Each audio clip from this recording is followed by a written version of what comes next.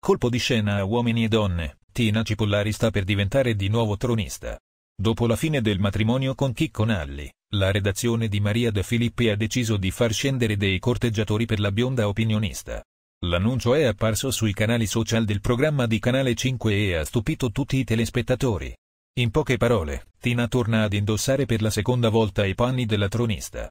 Un ruolo che aveva già ricoperto nell'edizione 2001-2002, dopo essere stata la corteggiatrice di Roberto, il primo tronista uomo del format Mediaset.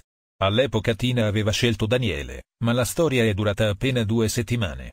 Subito dopo la De Filippi la promossa opinionista e in queste vesti ha conquistato Chico, arrivato in trasmissione per corteggiare un'altra tronista.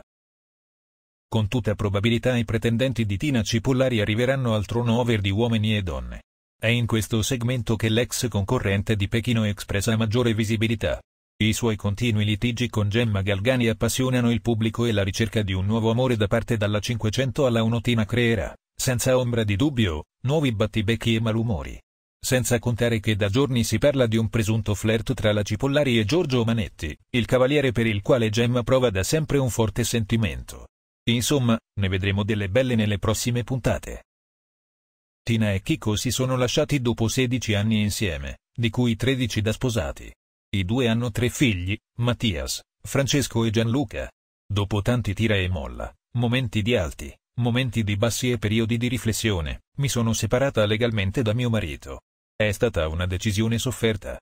Abbiamo lottato fino all'ultimo, ma ora dico a me stessa, forse è meglio così perché non potevamo più andare avanti ha raccontato la cipollaria di più.